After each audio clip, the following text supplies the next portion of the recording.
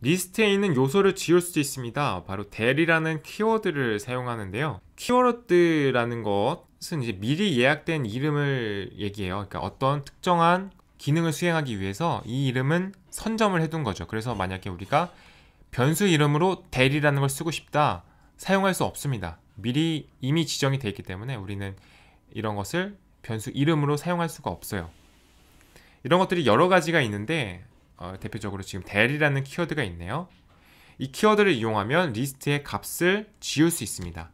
mylist에 123 abc true라는 값이 저장되어 있었는데 del 그리고 띄고 거기에 있는 mylist 인덱스를 쓰게 되면 거기에 있는 값이 지워지게 됩니다. 여기서 유의하실 점은요. 지워지게 되면서 뒤에 있는 값들이 앞으로 당겨져요. 여기서 mylist 제로였으니까 1, 2, 3이 삭제가 되겠죠. 그리고 abc가 원래 1, 2였었어요. 인덱스가. 지워지면 당겨지면서 abc가 인덱스가 0이 되고 true가 2가 됩니다. mylist에 1, 2, 3 abc true였었는데요. 여기에 del이라는 키워드를 쓰고 띄고 mylist 0번에 있는 요소를 지우겠다. 여기에 0번에는 A 1, 2, 3이 있죠. 지우게 되면은 print mylist 하게 되면요.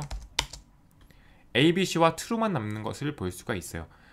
원래 인덱스가 0, 1, 2였었는데 1, 2, 3이 없어지면서 ABC가 0번 인덱스가 되고요. true가 1번 인덱스가 되는 거죠. 마찬가지로 mylist 그러면은 0번을 또 지운다 하면은 ABC가 지워지게 되겠죠. 프린트 mylist 하게 되면은 true만 남는 것을 볼 수가 있습니다. 문자열과 마찬가지로 slicing도 할 수 있는데요. 콜론과 대괄호를 이용해서 여러 가지 요소를 한꺼번에 잘라 올 수 있습니다. 그래서 앞에 숫자, 뒤에 숫자, 사이에는 콜론. 앞에 숫자가 의미하는 것은 시작 요소. 첫 번째 0부터 시작을 해서 뒤에 숫자가 2면 2 전까지 잘라 오게 되는 거예요. 그래서 0 콜론 2라는 것은 0, 1을 의미합니다. 1, 2, 3과 ABC가 잘라 오게 됐죠. 그래서 잘라 온다고 원본의 원본 리스트가 바뀌는 게 아니에요. 잘라서 없어지는 게 아니고 잘라서 그 부분을 복사해 오기 때문에 원본 리스트는 그대로 유지가 됩니다. 대신 그 잘라 온 부분을 복사해 와서 또 이제 그 다음부터 처리를 할 수가 있겠죠. mylist에 A, B, C라는 문자열이 각각 저장이 돼 있었어요.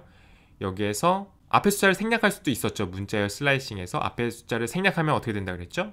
가장 앞에 있는 요소부터 뒤에 숫자가 생략되면 가장 뒤에 것까지 숫자가 두 개면 가장 아, 이 앞에 숫자 인덱스부터 뒤에 숫자 인덱스 전까지 1, 2가 가져오게 되는 거겠죠.